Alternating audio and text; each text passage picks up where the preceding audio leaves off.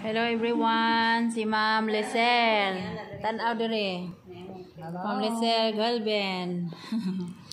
mo try na siya, mo gamit na siya siyang kringle. I-scan niya siya, ma'am. Ska na. Mm, mubayad siya sa aning coffee na to nga 50% kringle, 50% cash. Copy. Ang copy, Open Okay, nanaka sa kini address na nako din kini i-click ng arrow.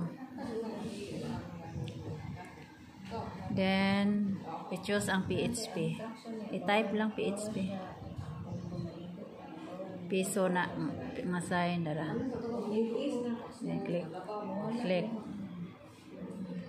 Dayon, mo type ka direct to 5, ah no, 175 ra. Kringle. 175. Oh, ay, kuha ng zero.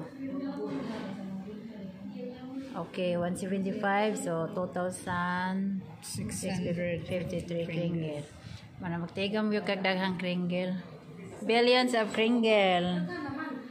Aron daghan tang mapalit. 175. Ang palit na Isen. ko ni, this is 2,653 Pringles. Oh.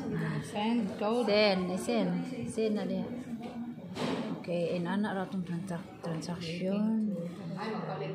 Pastora, nindo to kay atong transaction dali ra kaayo. Pila lang ka kuan. Success gani na okay na.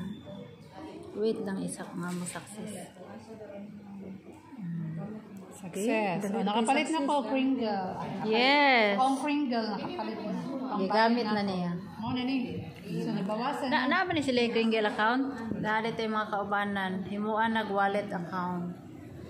Yeah, pangayon na sila Free email na add siya na kay 2,500. Pila tong free?